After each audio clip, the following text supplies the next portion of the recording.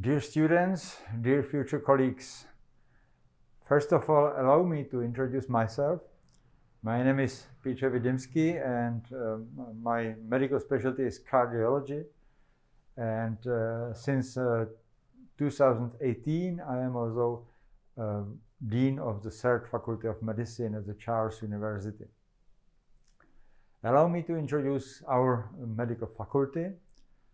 The Third Faculty of Medicine is located in Prague, uh, near to University Hospital uh, Královské Vinohrady.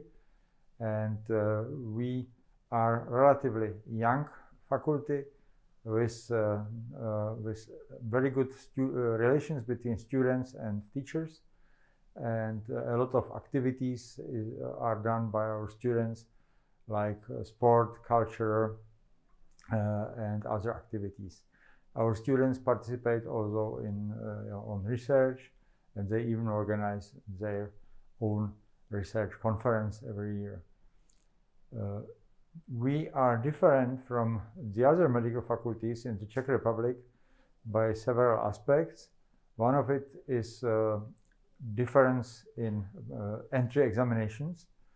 Our entry examinations are biphasic. The first phase is uh, test where we are uh, looking for your knowledge and the second phase is interview where we are looking for your motivation and we are evaluating what kind of personalities you are.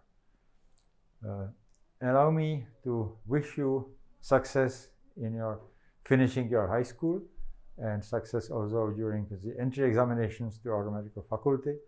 And I hope to meet you a uh, few months later as our new students.